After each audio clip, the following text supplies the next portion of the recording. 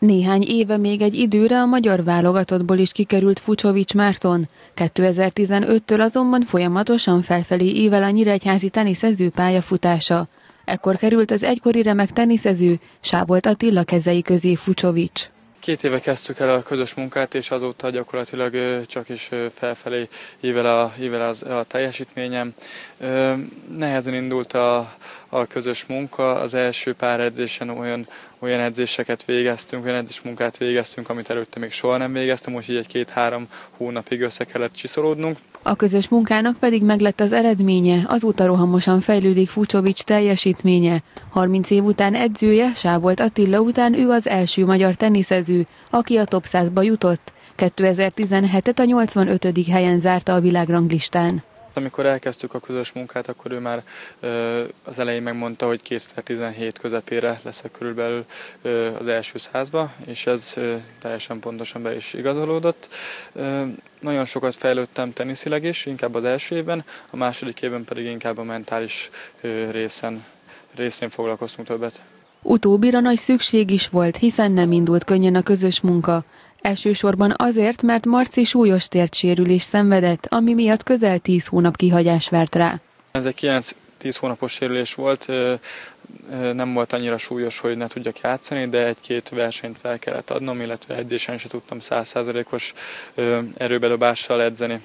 Úgyhogy ez is hátráltató volt, és ahogy az elmúlt utána, utána rögtön jöttek a jobb, jobb eredmények, Challenger tornákat nyertem, úgyhogy onnan indult a felfelé évelés. A jó sorozatban pedig majdnem sikerült egy igazán nagy skarpot is elcsípnie Fucsovicsnak. Októberben a Bázeli ATP 500-as negyedöntőjében Fucsovics két labdára volt a továbbjutástól, csak nüanszokon múlt, hogy nem győzte le a világranglistán ötödik horvát játékost. A legszebb eredmény szerintem az évvégi Bázeli 500-as ATP negyed döntőben Csilicsel játszottam, döntőszet 7 ra igaz, hogy kikaptam, de, de ez egy nagyon nagy mérkőzés volt, és a két évnek a megkoronázása.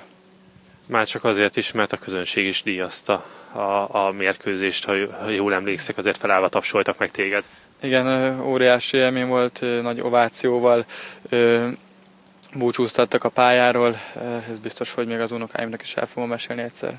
Az egyéni sikerek mellett a magyar válogatottal is történelmi tettet hajtott végre. Legyőzték az esélyesebbnek tartott orosz csapatot a Davis kupán, úgy, hogy Fucsovics két top 40-es ellenfelet is legyőzött. Ennek köszönhetően a magyar csapat 22 év után szerepelhet a világcsoportban. Nagyon örülök, hogy 22 év után felkerültünk a világcsoportba, óriási teljesítmény. Én idén nem veszítettem mérkőzés a Davis kupában, úgyhogy igen, szinte nekem köszönhető, hogy fel tudtunk jutni.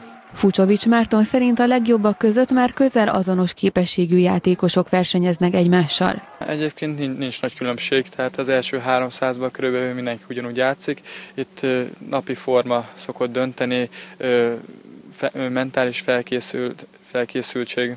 Fucsovics az új évkor rajtoló indiai tornán kezdi meg a 2018-as szezont, majd az Australian Open és a Belgiumi Davis Kupa párharc szerepel a menetrendjében, aztán Budapest után Dubaj és az amerikai keménypályás versenyek következnek. A nyíregyházi teniszező 2018-as nagy célkitűzése, hogy megszilárdítsa helyét a top 100-ban, és lehetőség szerint még javítson a jelenlegi világranglistás 85. helyén.